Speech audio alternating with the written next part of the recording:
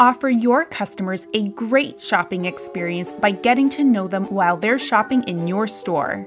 Vend lets you create customer profiles so you can track their contact details, purchase history, and other notable details.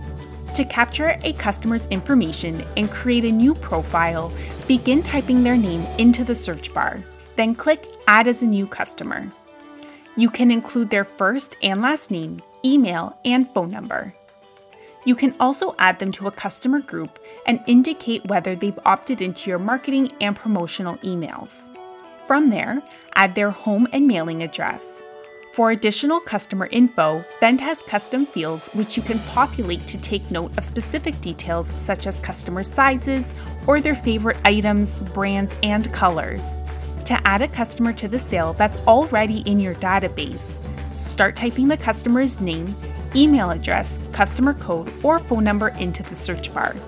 As you type, your results will begin to filter down. Once you find the customer you're looking for, click to add them to the sale. Customers can be removed from a sale by selecting the bin icon. Adding customers and tracking their purchases and preferences has never been easier.